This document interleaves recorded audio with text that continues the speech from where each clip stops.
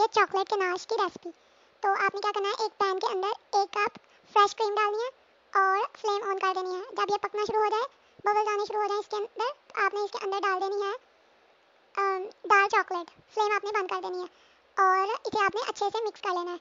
और आपका sauce ready हो जाएगा। आप इसे केक में यूज़ करें या फिर शेक वगैरह में यूज़ करें। ये बहुत ही टेस्टी लगता है और इंस्टेंट बन जाता है। वीडियो अच्छी लगी है तो लाइक शेयर और सब्सक्राइब करें